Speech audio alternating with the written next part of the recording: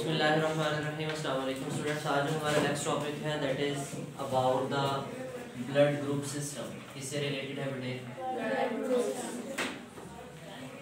Blood group system से related है। किससे रिलेटेड है blood group system blood group system as such जो हम पढ़ने जाएँगे, हमारे पास दो ब्लड ग्रुप सिस्टम है हमारी नाइन्थ क्लास की बुक में।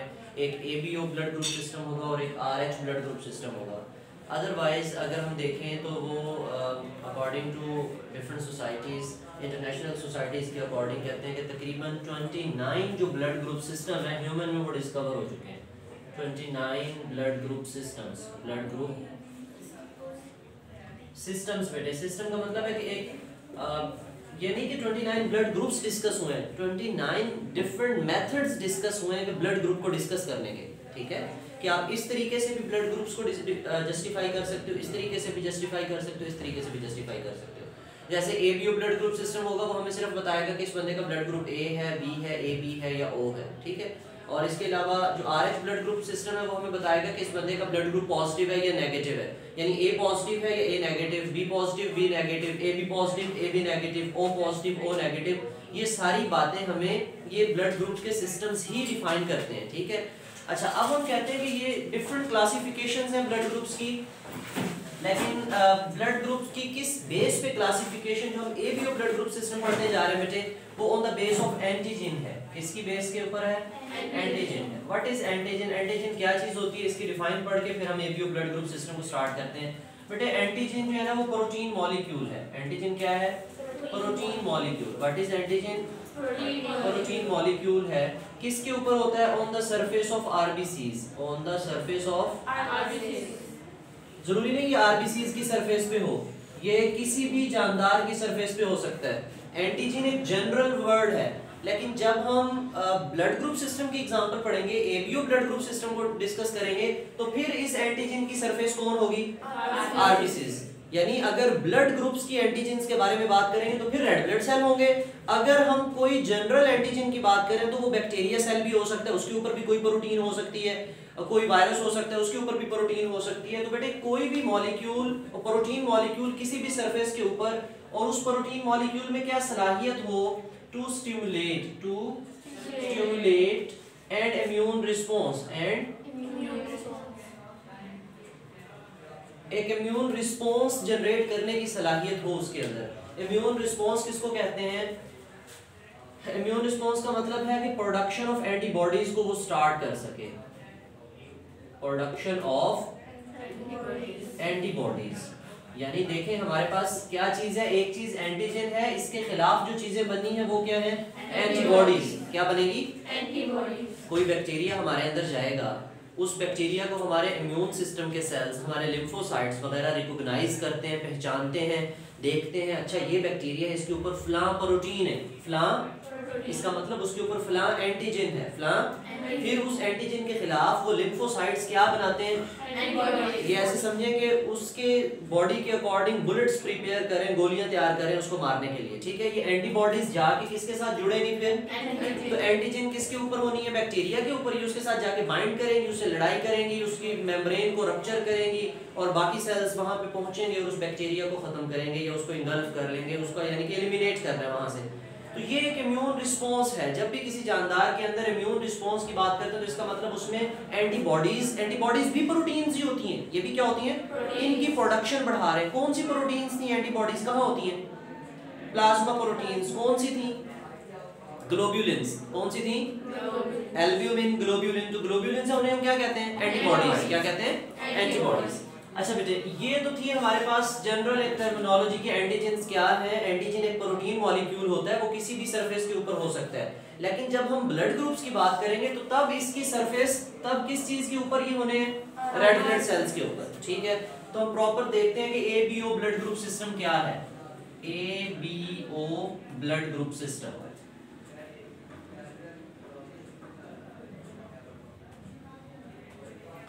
according to this system हमारे पास फोर डिफरेंट ब्लड ग्रुप्स हैं। फोर डिफरेंट ब्लड ग्रुप्स हैं। एक हमारे पास होगा ब्लड ग्रुप ए एक होगा बी एक होगा ब्लड ग्रुप ए बी और एक होगा ओ अब कुछ बातें मैं पहले आपको एक्सप्लेन कर देता हूँ कि ये किस बेस पे हम बनाने जा रहे हैं सिस्टम हम कहते हैं कि जो ब्लड ग्रुप है ब्लड ग्रुप की type A B O blood group system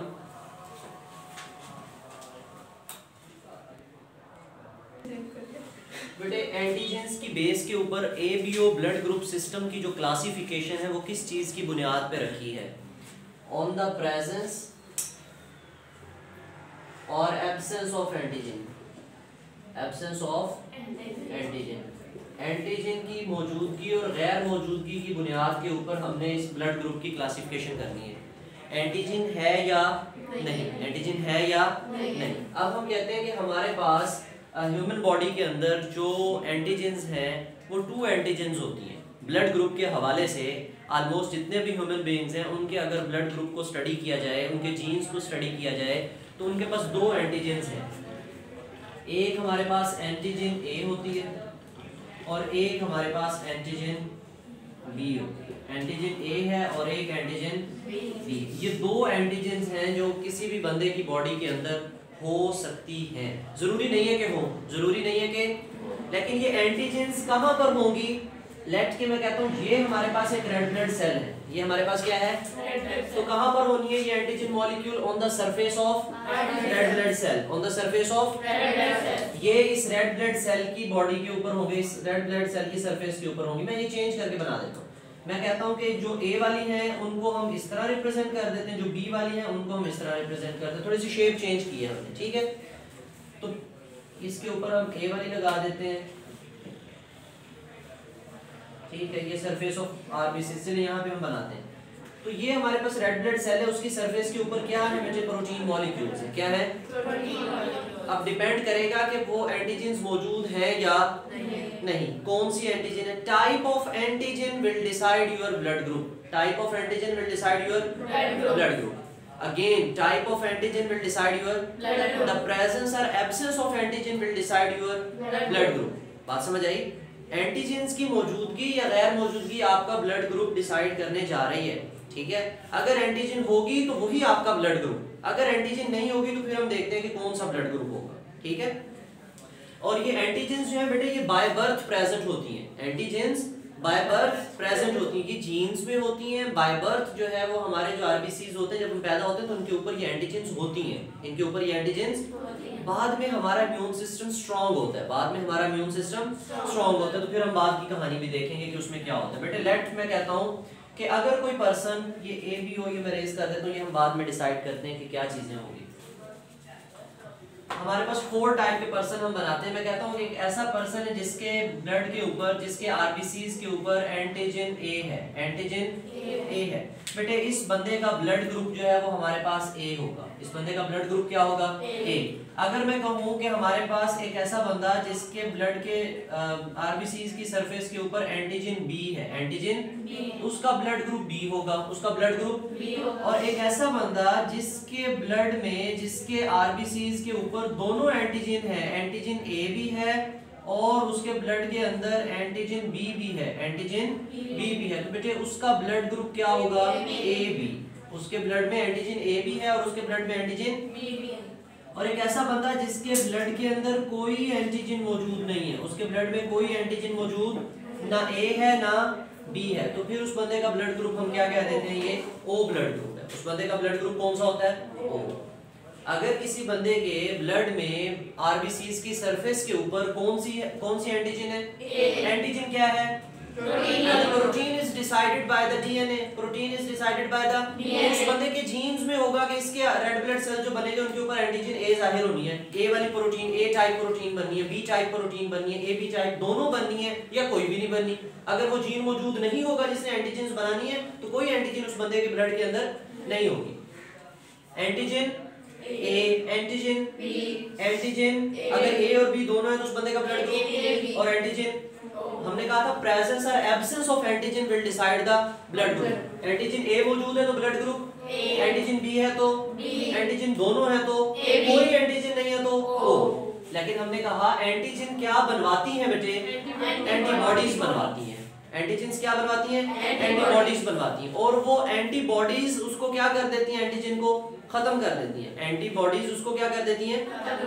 late मैं यहाँ पे आपसे ये पूछता हूँ कि हमारे पास दो एंटीजेंस हैं। हमारे पास कितनी एंटीजेंस हैं?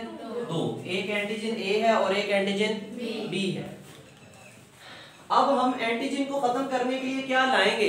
एंटीबॉडीज लेट जरा देखिएगा कि इस एंटीजन को खत्म करने के लिए यहाँ पे क्या लाऊँगा मैं? एंटीबॉडीज क्या लाऊँगा?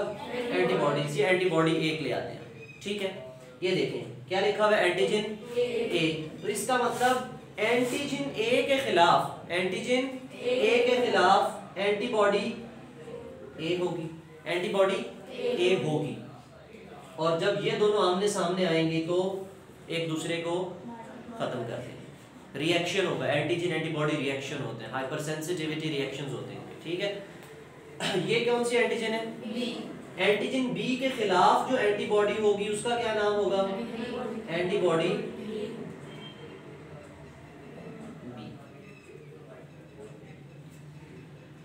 क्लियर यहाँ तक बात समझ आई? एंटीबॉडी अच्छा समटाइम हम इनका दूसरा नाम भी लिखते हैं। किसके खिलाफ बना रहे हैं? एंटीजन ए हम इसको लिखते हैं anti A antibody anti A यानी एंटी ए ए के खिलाफ। ए के क्या बनवा ली हमने? अक्सर ज़्यादातर बुक्स ये वर्ड यूज़ करती हैं। एंटी ए एंटीबॉडी और ये बी के खिलाफ हमने बनवा ली तो ये किसके खिलाफ बनवा ली? एंटी बी एंटीबॉडी बात समझ आई यहाँ तक? ये नहीं आई बात समझ? एंटीजेंस के खिलाफ क्या चीज़ें बना करती हैं? एंटीबॉडीज बना करती हैं। एंटीजेंस के खिलाफ क्या बनती है? एंटीजेंस पैदा होने से पहले होती हैं या पैदा होने के बाद?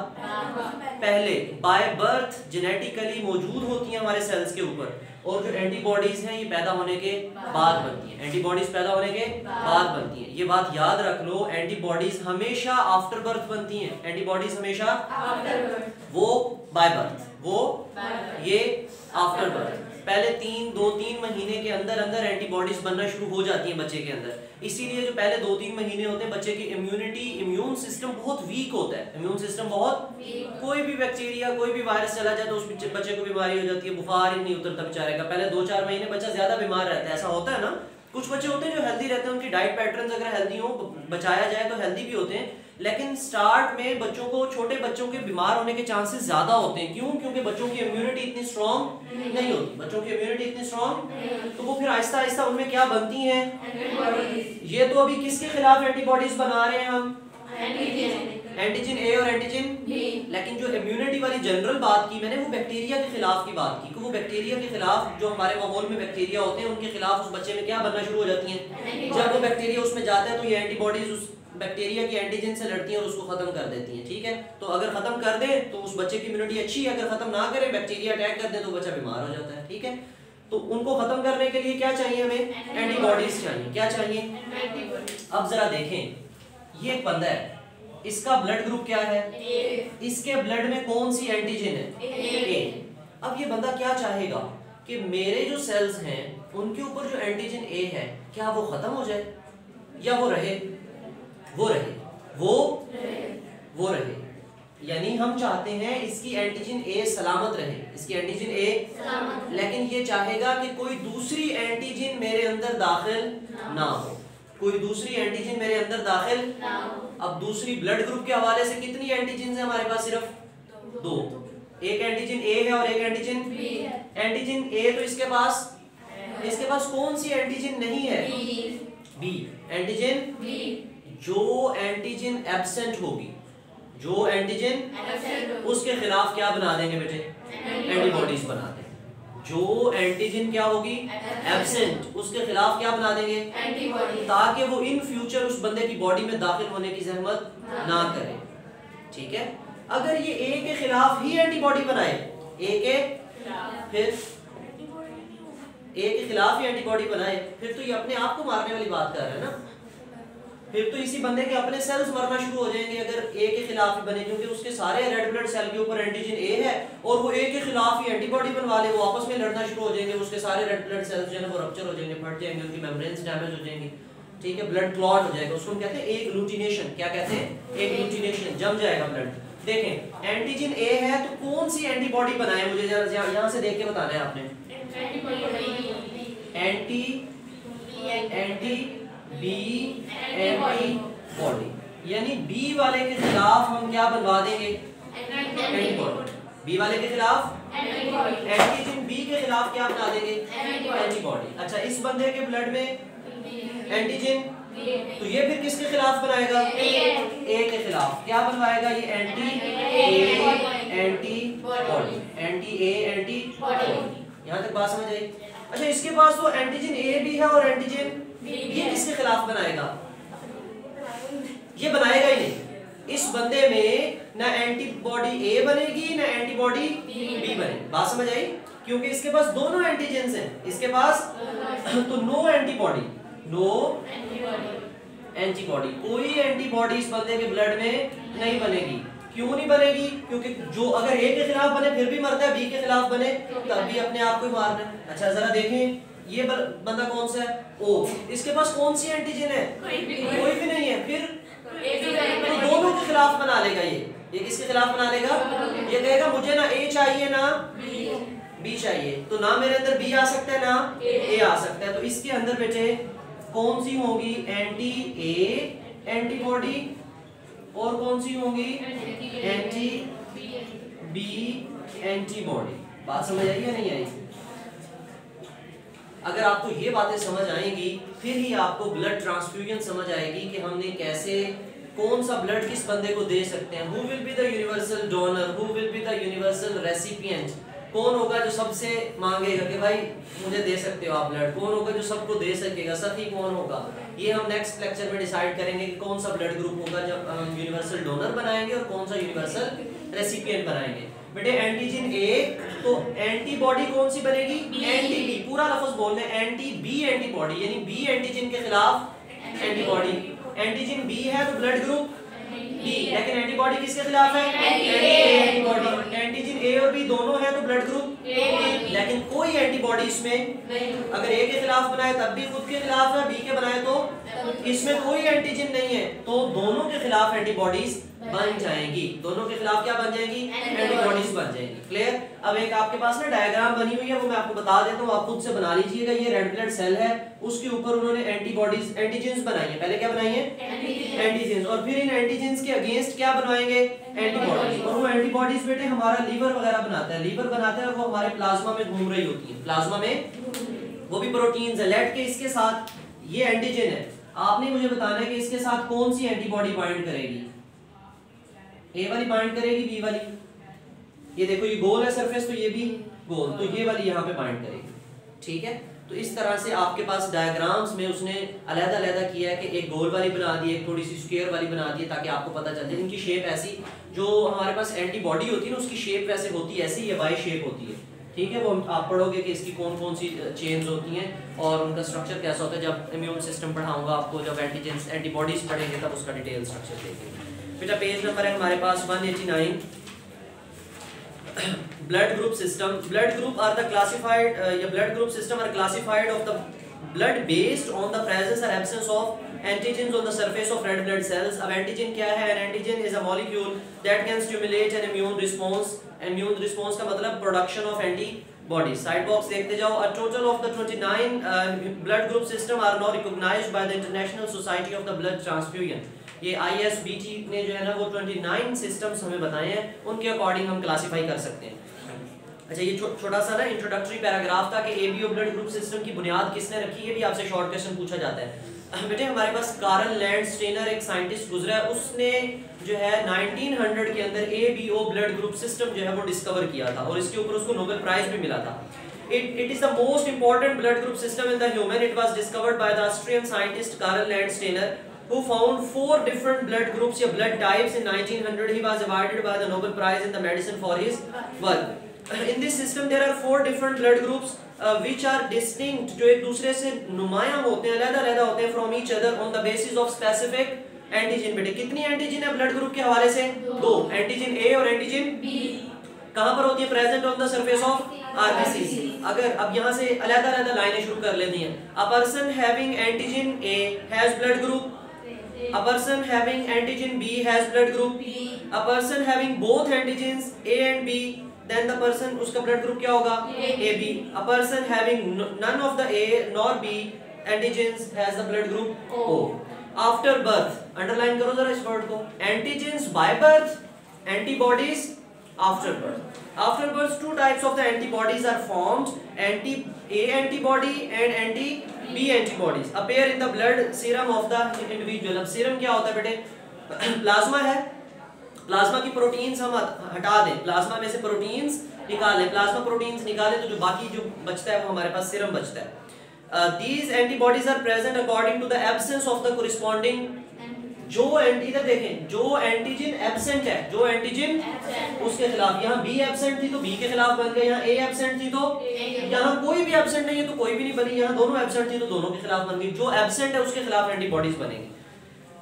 कहता है these antibodies are present according to the absence of the corresponding antigen in the persons with blood group A. अगर उस बंदे का ब्लड ग्रुप ए है तो antigen A is present antigen A present है लेकिन एंटीजन बी क्या है? एब्सेंट तो बी के खिलाफ बना देंगे। So their blood will contain anti B antibodies similarly the person with blood group B anti antigen B is present and antigen A is so their blood will contain anti A antibodies in the person with blood group AB antigen A and B are present neither is absent so their blood serum will contain no antibody in the person with blood group O neither A antigen nor B is present both are absent दोनों ही absent है so their blood serum will contain both antibodies A and यानी anti A and anti B अब ये नीचे diagram से जरा देखें। इसमें blood group A B A B and O है। देखें सबकी सरफेस के ऊपर है लेकिन ओ वाले की सरफेस खाली है। ओ वाले की सरफेस वो ब्लैक डॉट्स तो लगाए उसने उसके ऊपर उसने एंटी प्रोटीन ज़ाहिर नहीं की। अब जरा देखें एंटीजन ऑन आरबीसी इसके ऊपर ए बना दी एक पे बी एक पे ए बी और एक पे नन अब देखें कलर से डिस्टिंग्विश कर लें। एंटीजन ए का कलर कौन सा है? पिंक और एंटीजन बी का कौन सा है? ब्लू अब जरा देखें ए वाले में एंटी बी बी के खिलाफ बन रही है बी के तो ब्लू वाली और इधर पिंक वाली और ए बी वाले में कोई नहीं है, और जरा ए बी वाले में ओ वाले में देखो, उसमें एंटी ए भी है और एंटी बी एंटीबॉडीज भी है। तो क्लियर बेटे, इस होल टॉपिक में कोई क्वेश्चन हो तो आप कमेंट सेक्शन में पूछ सकते हो। थैंक यू अल्लाह हाफिज़